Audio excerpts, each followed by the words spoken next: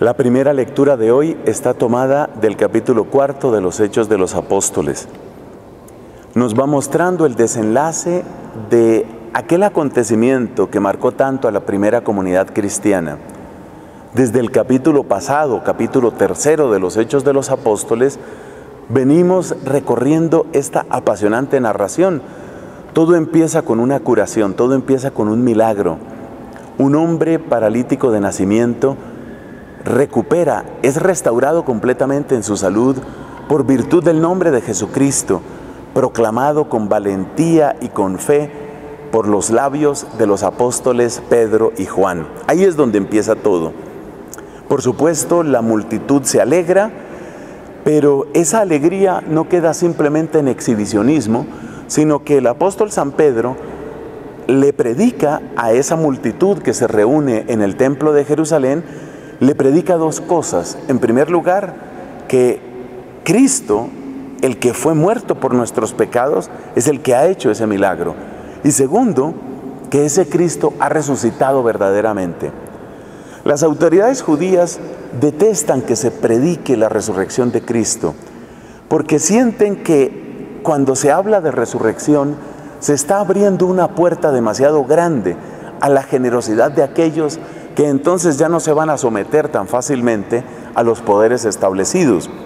Como ya lo cuenta el segundo libro de los Macabeos, cuando una persona tiene verdaderamente certeza en la resurrección, también tiene una capacidad de lucha, también tiene una generosidad inaudita. Y los judíos, sobre todo las autoridades, los saduceos, la gente que estaba a cargo de la administración del templo allá en Jerusalén, tienen terror de que ese entusiasmo y esa fe en la resurrección lleven a que la gente se oponga a la dominación del imperio romano, produciendo al final una catástrofe y una extinción. Eso es lo que ellos temen. Están en realidad velando por sus propios intereses y quieren seguir siendo los que dan la interpretación religiosa para consumo de las masas. Así están las cosas y por eso ellos mandan a apresar a los apóstoles, a Pedro y a Juan. Y entonces los juzgan, y entonces los amenazan, y los torturan, y los encarcelan.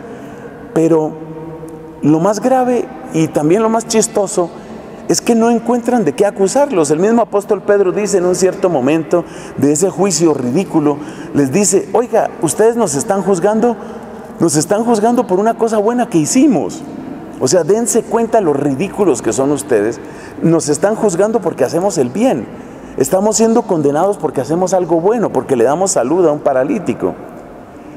Las autoridades judías intentan oponerse a toda costa, intentan amedrentar, asustar a los apóstoles, pero dentro de ellos hay una fuerza.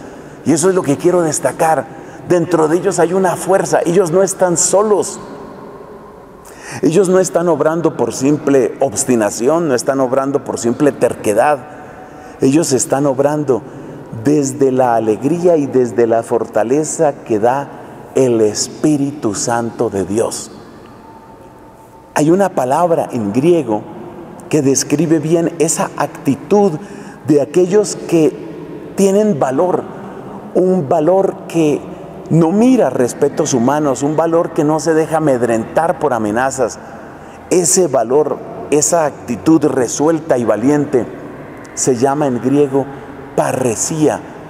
Parresía es no achicarse cuando llegan las amenazas. Parresía es no achicarse cuando llega el ridículo. Parresía es no achicarse, disminuirse o negar la fe cuando llegan las torturas o persecuciones.